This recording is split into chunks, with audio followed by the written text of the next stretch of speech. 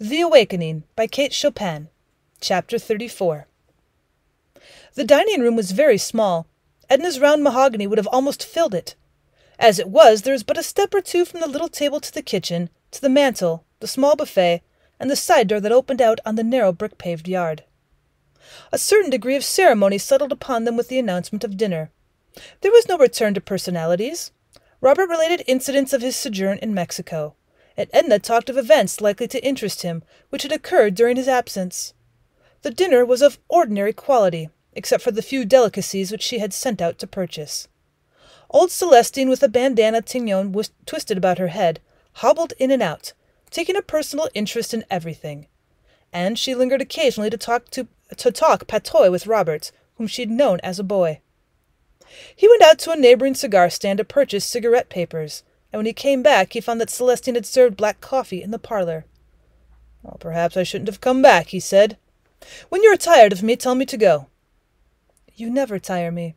You must have forgotten the hours and hours at Grand Isle in which we grew accustomed to each other and used to being together.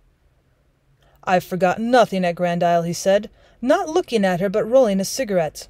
His tobacco pouch, which he laid upon the table, was a fantastic embroidered, embroidered silk affair, evidently the handiwork of a woman.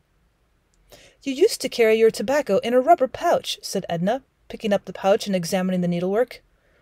Yes, it was lost. Where did you buy this one? In Mexico? It was given to me by a Vera Cruz girl. They are very generous, he replied, striking a match and lighting his cigarette. Well, they are very handsome, I suppose, those Mexican women. Very picturesque with their black eyes and their lace scarfs.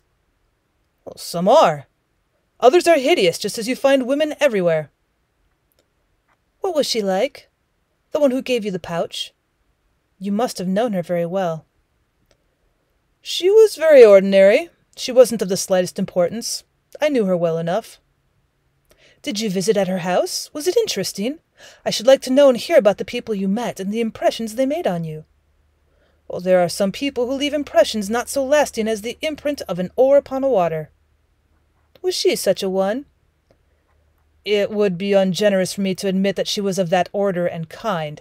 He had thrust the pouch back in his pocket as if to put away the subject with the trifle which he had brought up. Arobin dropped in with a message from Mrs. Merriman to say that the card party was postponed on account of the illness of one of her children. Uh, how do you do, Arobin? said Robert, rising from the obscurity. Oh, Lebrun, to be sure. I heard yesterday you were back. How did they treat you down in Mexico? Fairly well but not well enough to keep you there. Stunning girls, though, in Mexico. I thought I should never get away from Vera Cruz when I was down there a couple of years ago. Did they embroider slippers and tobacco pouches and hat bands and things for you? asked Edna. Oh, my, no! I didn't get so deep in their regard. I fear they made more impression on me than I made on them. Well, you are less fortunate than Robert, then. I am always less fortunate than Robert. Has he been imparting tender confidences? I've been imposing myself long enough, said Robert, rising and shaking hands with Edna. Please convey my regards to Mr. Pontellier when you write. He shook hands with Arobin and went away. Fine fellow, that Lebrun, said Arobin when Robert had gone. I never heard you speak of him. Oh, I knew him last summer at Grand Isle, she replied. Here's that photograph of yours.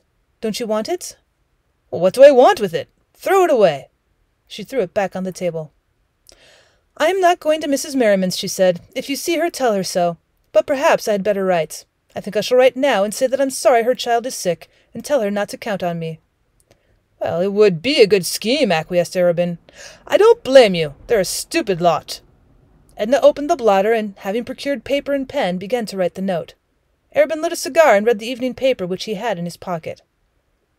What is the date? she asked. He told her. Will you mail this for me when you go out? Well, certainly. He read to her little bits out to the newspaper while she straightened things on the table. Well, what do you want to do? he asked, throwing aside the paper. Do you want to go out for a walk or a drive or anything? It'd be a fine night to drive. No, I don't want to do anything but just be quiet. Now you go away and amuse yourself. Don't stay. Well, I'll go away if I must, but I shan't amuse myself. You know that I only live when I am near you. He stood up to bid her good night. Is that one of the things you always say to women? I've said it before, but I don't think I ever came so near meaning it, he answered with a smile. There were no warm lights in her eyes, only a dreamy, absent look. Good night. I adore you. Sleep well, he said, and he kissed her hand and went away. She stayed alone in a kind of reverie, a sort of stupor. Step by step she lived over every instant of the time she'd been with Robert after he'd entered Mademoiselle Reisz's door. She recalled his words and his looks, how few and meagre they'd been for her hungry heart. A vision, a transcendently seductive vision of a Mexican girl arose before her. She writhed with a jealous pang.